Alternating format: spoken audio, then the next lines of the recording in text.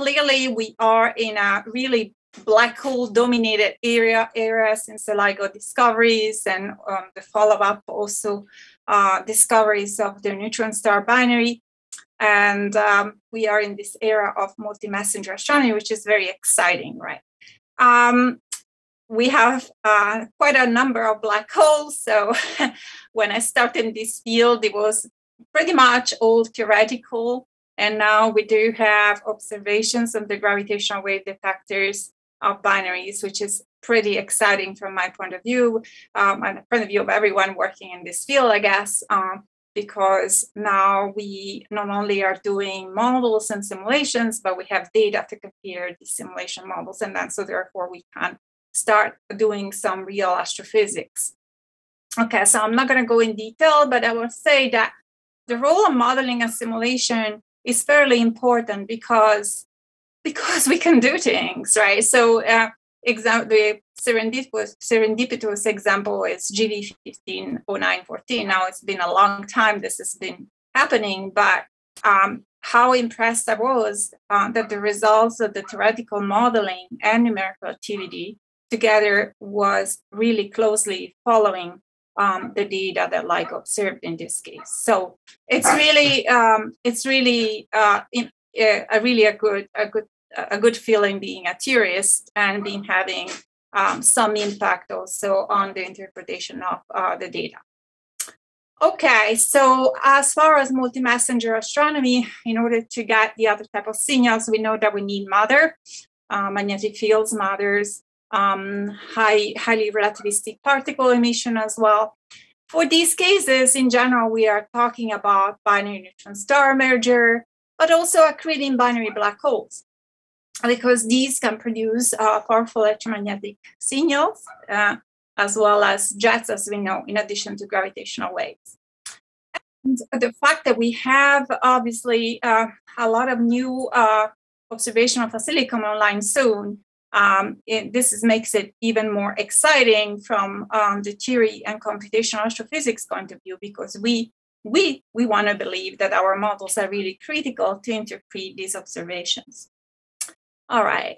Um, so the first question one might ask, since we have a lot of data from LIGO about binary black holes, so from the gravitational wave point of view, would be, well, um, do these black hole binary emit any light at all? Well, if these binary happen to be immersed in a galactic nuclear disk, one might expect there might be some photons emitted um, from this system.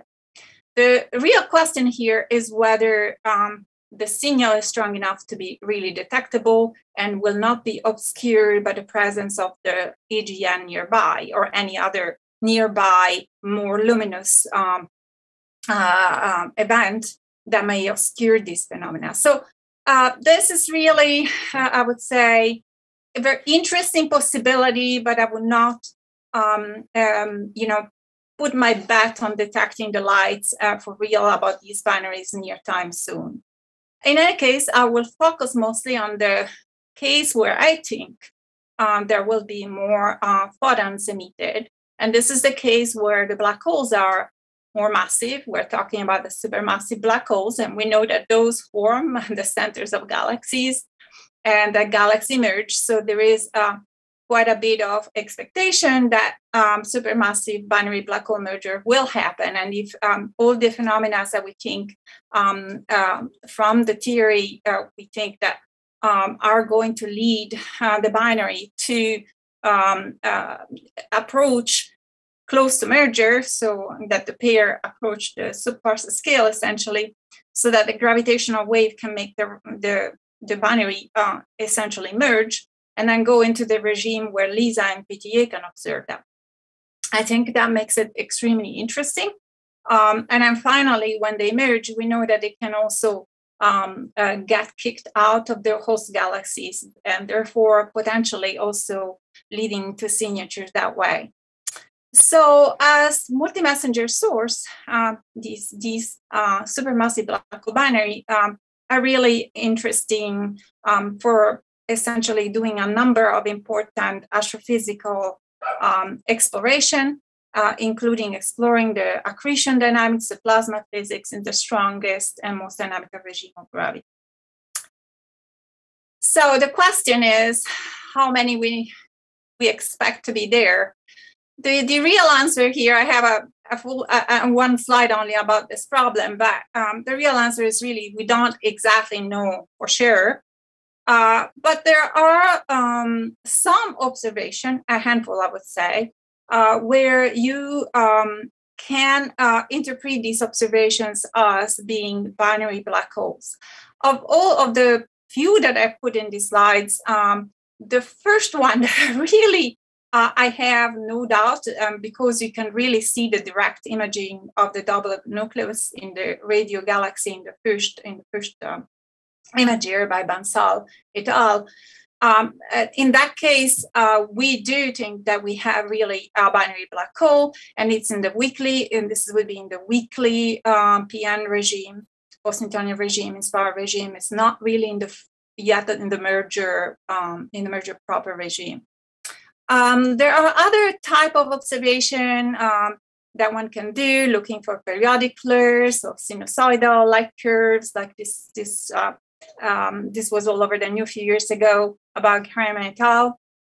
Uh, but uh, there is still a lot of uh, interpretation that one has to do because uh, we don't have really reliable models um, to tell us what really to expect in this case. Um, the good news is that uh, we will see uh, many more binary AGN um, in the haystack because LSST is coming online and we'll have a larger sample from there. And PTA is getting also uh, close to essentially having uh, the, the capability to detect these from the gravitational wave point of view. And LISA in the future uh, is going to uh, fly not too far from the future, and therefore giving us uh, really um, uh, examples from the gravitational point of view of these of these sources. So um, there are also some theoretical estimates. If you look at the the paper here by Krolik, Volonteri, Dubois, Devriendt, they have some population estimate uh, done with um, with, gal- with their galaxy evolution models, and they find that essentially about 100 sources at redshift um, of 0.5 to 1 uh, could be really detectable. Uh, and they are um, all of them have a period that really are in the PTA range. 10% of, of those actually have period that are in the PTA range. So they would be uh, quite observable. And let me tell you that in this paper, I know you read it, but they really make a conservative, a very conservative model for the uh, photon emissions from the from these binaries. So uh, I would think that um, the, the really the picture could be brighter even than that. Okay, so if I haven't given you enough motivation why this is uh, interesting to study, let's actually go into uh, the more details of the what it takes to really simulate these these phenomena.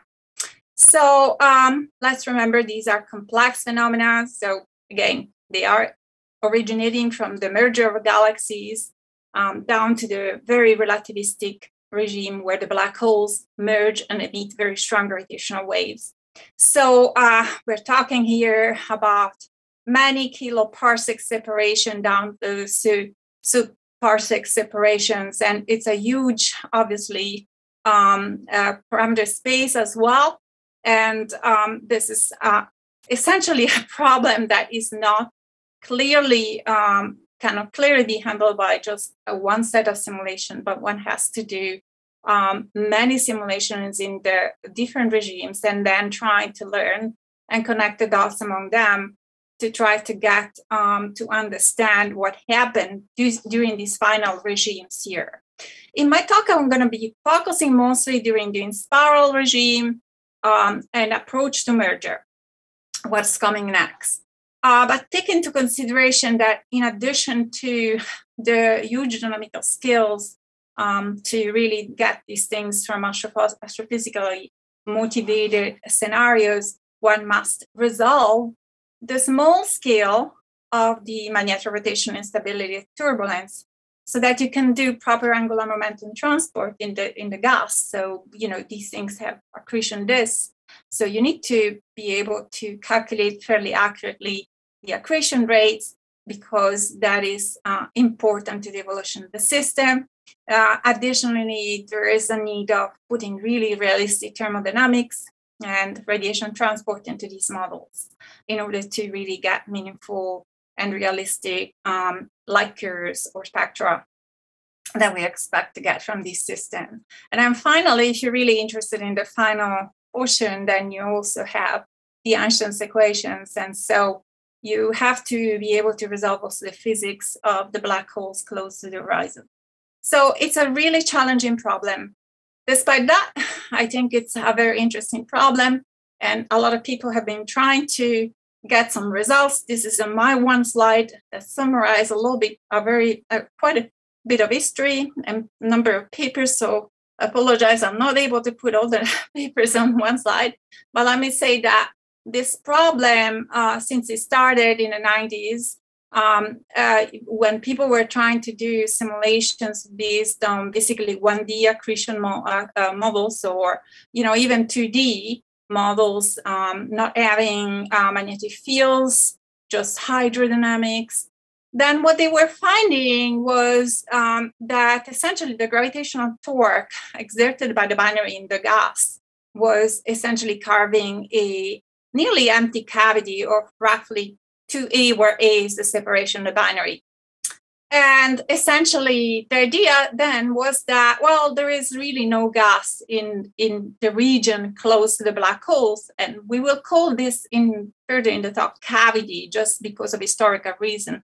But really close to the black holes, we're going to see that the modern um, 2D simulation and 3D magnetohydrodynamic simulation really have found that this concept of the binary torque dam does not really hold, and the accretion really continued pretty much until the binary approach merger. So uh, that's changing totally the picture because obviously that means that there is now enough gas um, to be able to be heated and emitting photons in the regions called the black holes. And people uh, have been interested in doing full numerical simulations trying to understand um, the dynamics um, close of the gas, close to the binary. Unfortunately, with numeric, full numerical activity, simulations um, tend to be very short because um, we we do have a very complex system, and and um, it takes a lot of computer time to really um, to really uh, run these systems uh, for you know a time that is dynamically important for the uh, for the accretion uh, for for establishing um, accretion dynamics in the disk. Okay, so there is a little bit of a difference here between um, what we do for gravitational wave uh, and what we do when we have an accretion disk. Because when we have an accretion disk, it's very important to be able to uh, equilibrate um, and, and get the, this, the disk in the so-called quasi-steady state, okay, where um, there is no more, um, you know, variability due to the fact that you started the disk in a non-physical condition.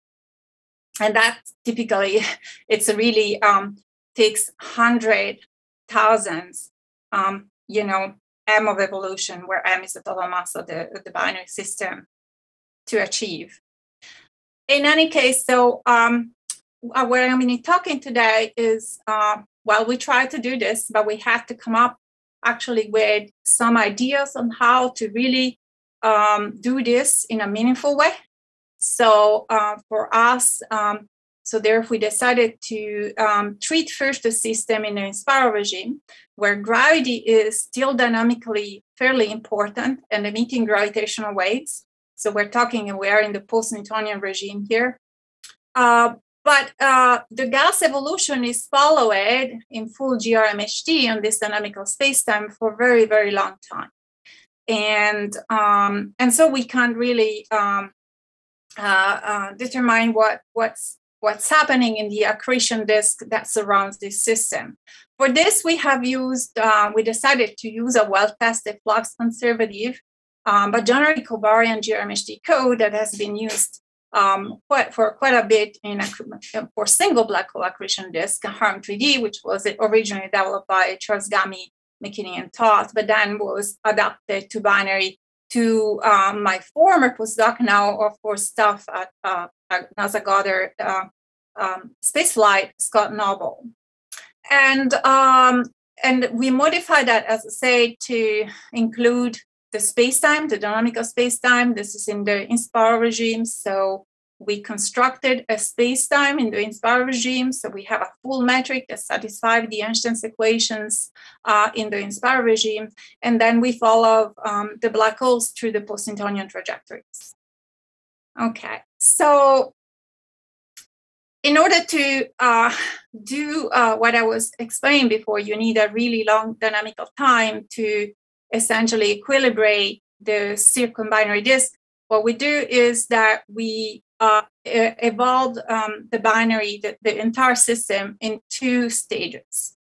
So, in the first stage, as you see on the top of the plot here, um, and uh, we do actually excise the region. Well, it's not, ex- uh, we put actually a what we call a cutout, okay, around the binary.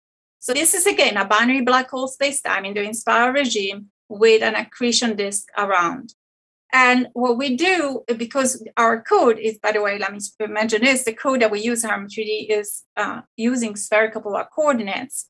The reasons why we like spherical polar coordinates that when you're, you're doing accretion physics, it's, uh, it's much more accurate to actually determine the, calculate the accretion rate in uh, a spherical coordinate just because the system has that kind of symmetry.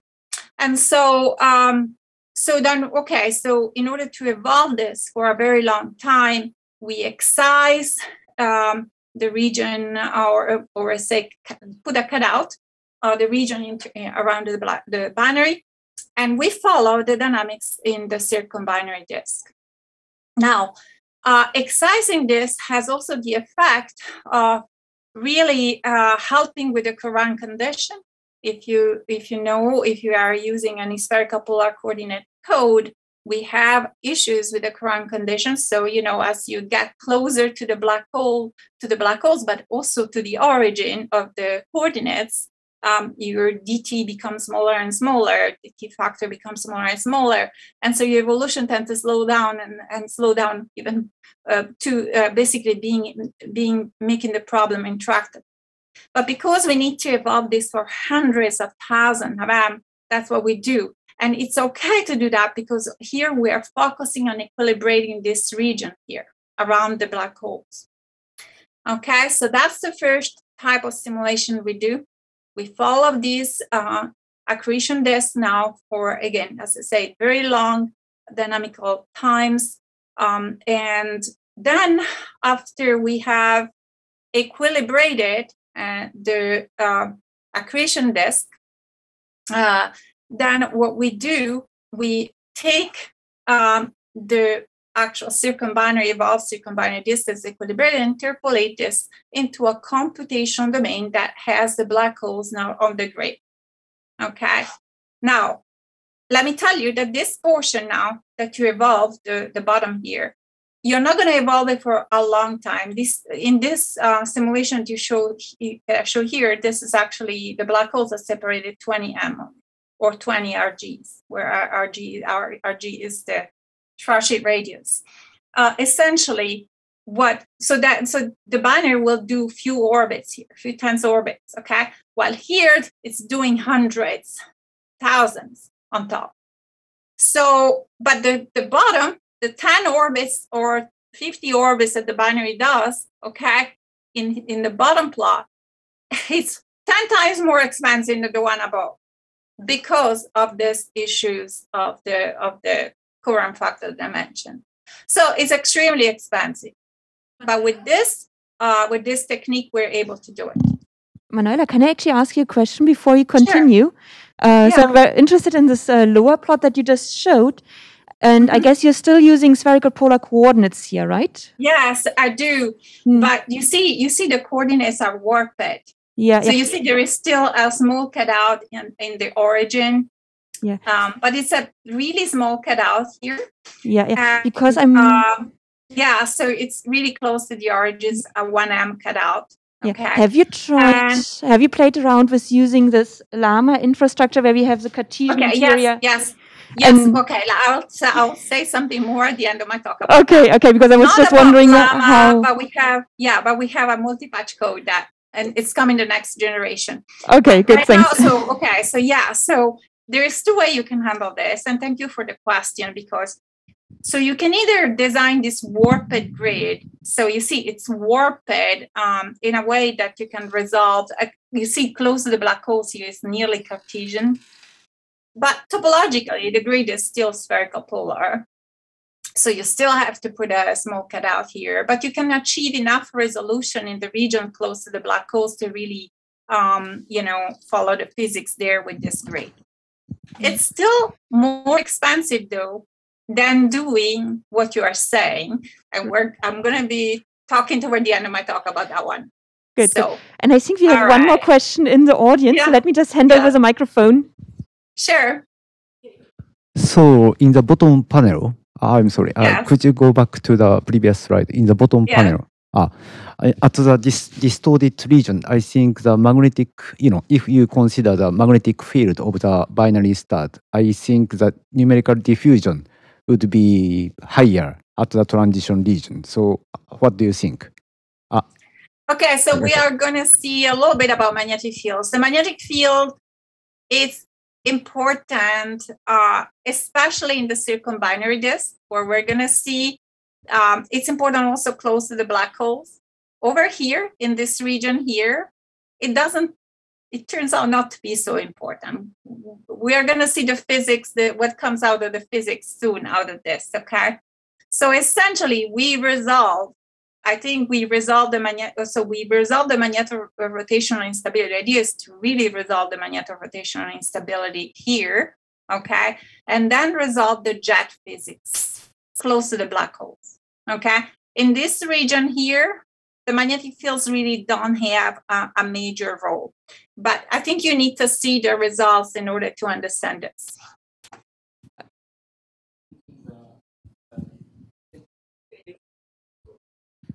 Sorry. Also, sorry, can you say yeah. your name when you when you speak oh, because I don't know I, who you are. I, am I'm I, I'm Keiko Take. Anyway. Hi hi. Hi hi. Nice. nice to see you. I know only by by by name. Uh, anyway, when you change the radius of transition region like twenty percent, did you expect some difference in the in the outcome? Yeah, have you ever no, changed? Yeah, no. no oh, that's no, that's nice. No. Thanks, thanks. That, that's it.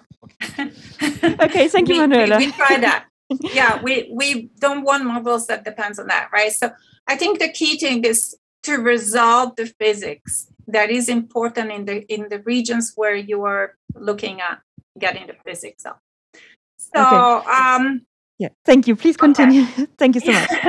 no, I think those are all important questions, uh, and it's it's a non-trivial problem, believe me. But I think it's uh, you have to use a little bit of you know if you want to be able to do it you have to use a little bit of you know uh, predictive predictive intelligence on how to do it properly but also a number of tests uh, okay so um, here i'm going to just summarize what we found by the way from the simulation of the circumbinary disk. Um, we found okay so that after evolving this for hundreds of thousand m um, we generically pretty generically form um, uh, what we call an overdensity in the circumbinary disk. And you see here, so material tend to accumulate, um, you know, in what we call the lump, which has a characteristic periodicity, which is associated with the, um, you know, with the characteristic periodicity of the uh, lump, which is roughly Keplerian periodicity. But then you have the the uh, binary here, and so um, the interplay between the binary and the lump periodicity give a characteristic periodicity of the system, which we call a bit periodicity, which we will see. It's going to be uh, uh, present in every quantity, any observable quantity that, that we calculate from this system. The, the interesting things, uh, and this is actually this paper is in preparation, should say uh, it, it's an arXiv number now. Sorry, I should I should have um, um, corrected this. But you can go in the arXiv and look at one of the latest papers from uh, Scott Noble and, and also our collaboration. where he actually uh, provide um, uh, a fairly uh, interesting, um, uh, I would say maybe not super complete, but fairly complete in terms of exploring how this lamp depends on the disk size, the magnetization, and the mass ratio. And we found that essentially the lamp is pretty generic whenever um, the, the binary uh, has nearly you know equal mass. But for mass ratio of about 1 to 10 or so it tends to not to be there. But we're going to see because i think this lamp has a lot of um, consequences. So what we did this was um, so work from uh, my former um, um, PhD student Dennis Bowen, who is now a staff member at Los Alamos. Um, we we did then take that simulation and we go, you know, we took the second plot that I showed you, put the black hole on the grid. You see this little region here that is still excised, right? But what you should see here is this lump, okay? When the binary pass by by this, by this lump, this overdensity of material, then um, the accreting material that falls into the from into the black hole, we call this stream. You see, these are streams. One of the streams, okay, get always enhanced, and the other one get depleted, and that is a continuous cycle, okay, that happened during the binary evolution, which um, is you know fairly interesting because you break in the symmetry of the system now so this lump is really, um, you know, causing uh, this uh, cycle, which uh, result in, uh, you know, on the mini disk that form around the black hole results of a depletion and refilling of periodic depletion and refilling of the mini disks. Okay, so I'm going to now, uh, for a moment, switch off on. Uh, okay, so if there is such a signal what kind of uh, you know light signal would you expect? Okay so we went ahead and post processed these um, simulations and calculated the spectra to see what you would get um, uh, as in terms of what kind of light you would observe. This is the spectra the various contribution from the circumbinary disk the mini disks and the accretion streams and the total and you see the variability so this was now published uh, um, a little bit a while ago, it's 2019, by another student um, who was visiting us from Paris. Uh, and, and so you can see, and then Scott generated these very beautiful images um, that you can see now pretty much uh, in uh, many of the PRs that you see out there. Uh, that you see these images are coming from our simulations. So they were done but you know um, these are the simulation done by my PhD student and uh, Scott produced these images at NASA. In any case, so how do we calculate um, the spectra uh, and with the light curves is that we use this Bothros generativistic ray tracing code for transporting radiation. Okay. Um, we do a camera to source approach. So we follow the geodesics integrate geodesics. And then we uh, integrate the radiative transport equations, and we do it for high accretion rate system, which mean optically thick case, and low accretion uh, rate systems, optically thin cases. So, okay, because I have more to show you, I want to move forward. So, um, remember, it's fairly important that we actually are able to um, equilibrate this um, disk around the binary. So what you're going to see in this movie generated by another one of my postdocs is the long time, I mean, it's running really fast. The long-term simulation that are done to equilibrate the circumbinary disk. You, see it will take a while, even if I've accelerated this movie. But you see that uh, we entered the steady state when the accretion rate here is pretty much flat.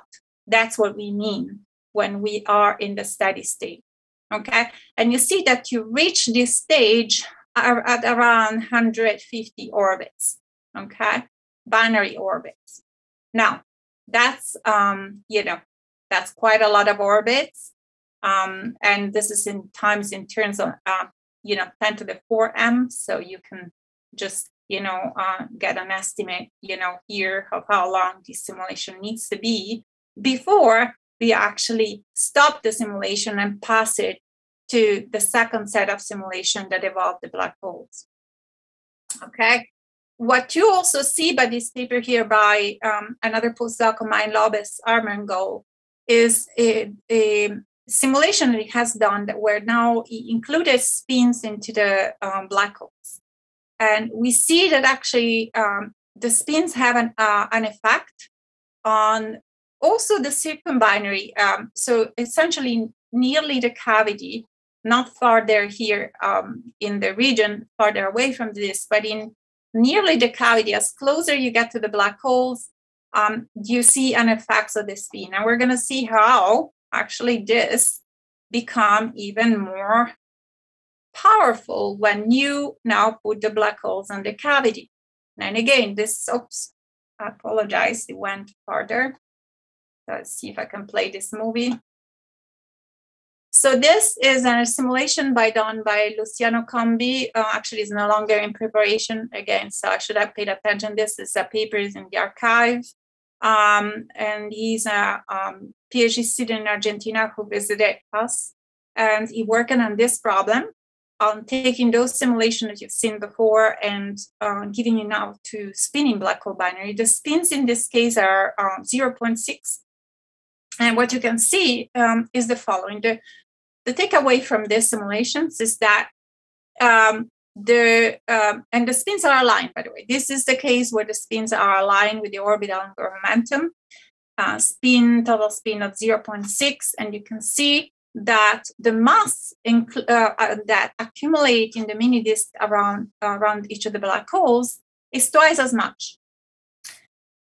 And uh, the periodicity that we saw before uh, associated with the lamp exists also in this case and is fairly close to the previous periodicity. But the key thing is that these mini disks here now are more massive.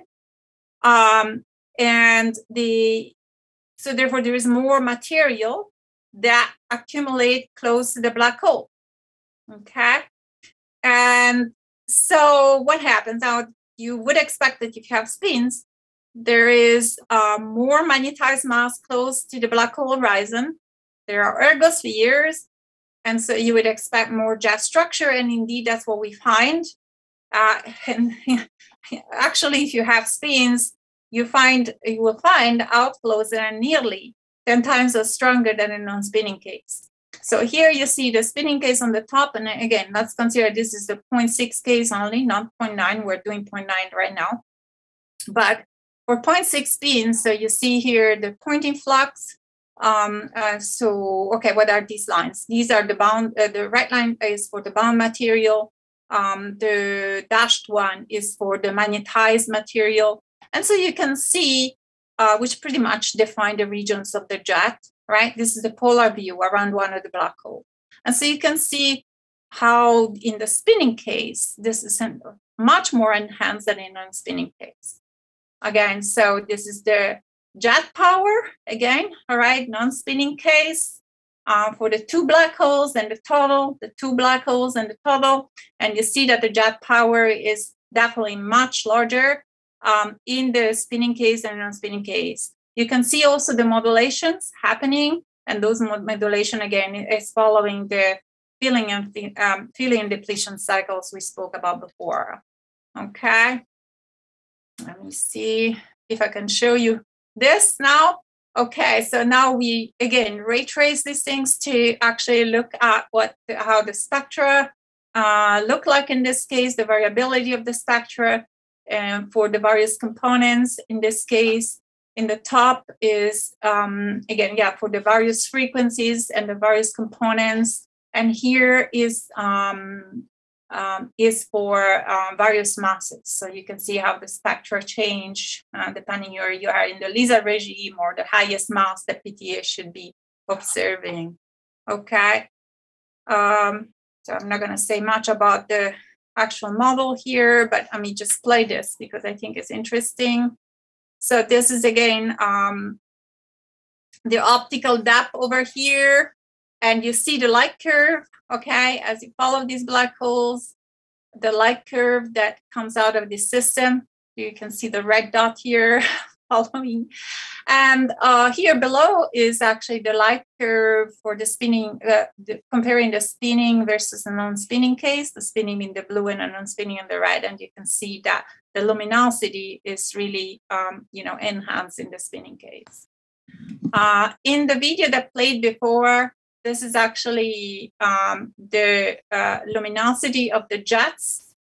So this is the same um, uh, that we have here, but we have also looked at the emissions from the jets.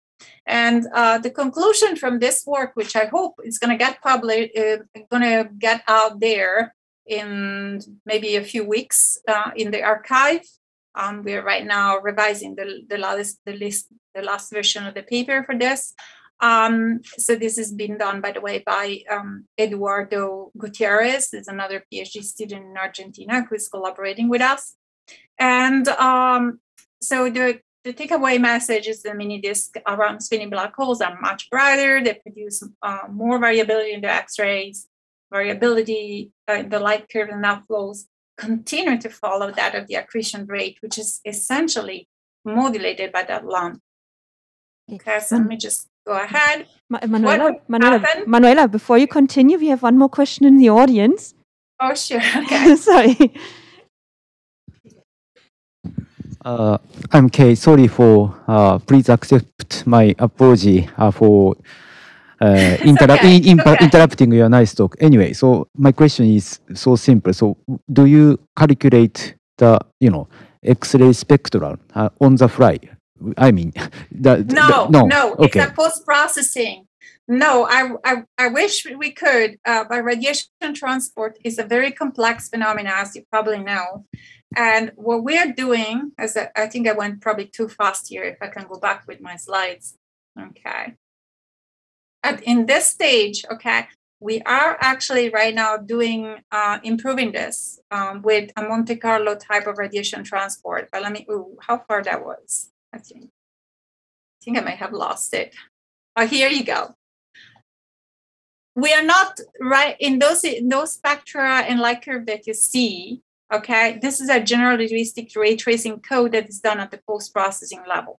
Okay, it's not so we integrate geodesics. Okay, um, lights. Okay, lights so ray tracing, um, and then we we have radiative transport equation models, okay, um, that we use to for for different uh, accretion type models, high accretion and low accretion, okay. But we don't do uh, the live radiation transport in these simulations, at least not in what we are presenting here today. First of all, it's because it's extremely complex and we hadn't yet reached this this uh, stage. But uh, as you know, radiation transport is very complicated to do. It's also uh, very computationally demanding. Uh, but we are working toward that. Okay, so this is a, a little bit the short answer to you, but or maybe more than one. Mm, okay, thank you. Uh, please continue. Yes. Okay, let's see where we were. Okay, so, but you can still obtain light curves. You can still obtain spectra with this method. Yes. And more than anything, I mean, where we are also interested here is looking at the effects of spins. Um, now, imagine that the spins do not end being aligned. Okay, there's a lot of literature out there arguing that the spins should be aligned with the orbital angular momentum um, if there is gas, because the uh, accretion torque will uh, tend to uh, align them with the with the with the accretion disk. But it's really unclear what happened in the relativistic regime. It could be for a reason or another that actually the spins are not going to be aligned toward the end. And if that's the case, um, then um, there's quite a little bit of interesting things that could happen because um, if the black holes are spinning, they're spinning very fast.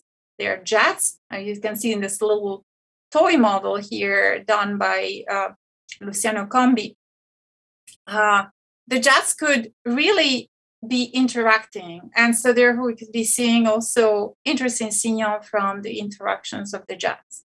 So that's an interesting scenario again that we are exploring.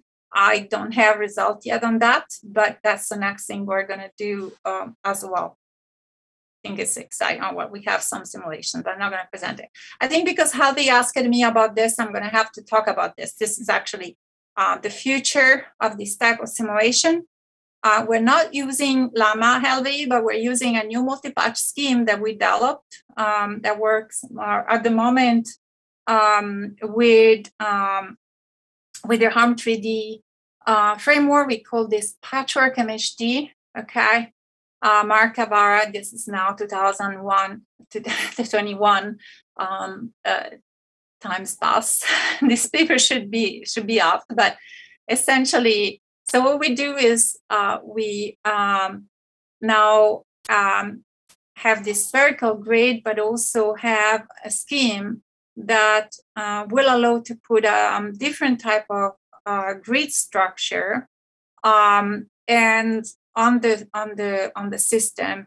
And we can use any type of grids the spherical cartesian cylindrical um, to treat different different regions of the space uh, we are evolving. Um, and we can even do different uh, physics um, and temporal skills um, on each of these patch. And this was work that is based on this um, now 2019 paper that by Shiokawa, where he only did it in hydrodynamics. And my former postdoc, Mark Avara, developed and extended it to MHD to treat their MHD. And uh, what we are you're going to see here now uh, is the treatment of a simulation where we repeated we're using this system and pay attention. And this is something that the Frontier people like it tremendously because this system allow us now to do the simulation with 30 times our prior efficiency. So that is amazing. Well, obviously, because now what you're gonna do, you're gonna see, you're gonna put, you're gonna see the grid here. The grid is being obviously uh, for visualization purpose de-refined. There is much, there are many more lines there, but essentially the idea is that in close of the binary, you don't need spherical coordinates. You only need spherical polar coordinate here, okay? Because that's where you need to resolve fairly well the angular momentum transport. Here, a Cartesian grid is fairly fine, so you can get away from with your problem current condition here um, because the system is not particularly spherically symmetric here. Okay, so the simulation is going on. Now, okay, so it's stopped. And um, okay, start again. so this paper, which I hope is going to get published soon um, from Mark, um, you know, we'll have uh, the results from these uh, simulations now done with the multi-patch scheme and um, we could analyze um, many interesting features thanks to that um, and get the resolutions to do so. You see um, interesting structures um, around the mini disks. First of all, uh, one takeaway would be that um, there is some 3D structure that that you know you don't see in this um, in the equatorial view but if you do the polar view you see some interesting 3d structure into the dynamics of these uh, accretion um, disks. The mini disk around each of the black holes are really nothing like the single black hole disk that we're used to see okay? So they're fairly different. And um, and again you know there is this accretion streams that uh, fall, falls into the mini disk. And then you see also something that I hadn't had the time to mention, but you see kind of roughly a continuous plot here, right? This is the uh, circumbinary accretion disk. The black holes are here. Black holes are here. Okay. The mini disks are here. And there is a lot of interaction here happening between the black holes as well and the, the two mini disks and the black holes. You saw it in the previous equatorial plane uh, movie as well. So the system is all one so you have a circumbinary disk that forms this lump. Then there are streams. Materials accrete through the black hole, form the mini disk to these streams. the streams get enhanced or depleted depending on how much they get material from the lump. And then once the mini disc form, depending on how the spins are oriented and how high are the spin, the mini disc can become more or less massive. And they can exchange material. The two mini discs will be interacting and exchanging material. So it's a really holistic system here. So, okay. Um, so what, what we want to do, obviously continue this exploration now that we have the tools to do to do it um, and to do it better. Obviously, we have to improve in our radiation treatment. Um, and that's where we're working on that too. I haven't been um, I don't have a lot of time to explain what we're doing, but we are working on a Monte Carlo uh, scheme um, for our, you know, your, your different type of radiation treatment that you can do and that's the one that we are working on. And um, yes, and uh, we want to explore also um, various, uh, no, no, not just change the, uh, the black hole spins and masses, but also do eccentricity, tilted disk, thermodynamic property, and so on. The key was, though, to really uh, get to do this efficiently, because the simulation that I um, presented before, the exciting results, what I think, uh, and the first light curves really took each of these simulation a million of CPU hours. So they're really expensive. All right. So with these new tools, I think we're going to be able to do uh, really cool stuff. Um, so stay tuned because I think uh, hopefully uh, my students and postdocs and collaborators um, will be uh, leading some more interesting projects along the way. And I don't know if I have time here. Yeah. Do I have time? I think Ariana Morgia Bertier said something um, about binary neutron star simulations. Uh, yeah. Just want to mention this one. So I, I, would say since we already had a lot of questions, so if you want to take another three, four minutes. Uh, just one minute. Mm-hmm. So for binary, you know, you're doing GRMHD, binary neutron stars are fairly complex. You also have neutrinos in this case.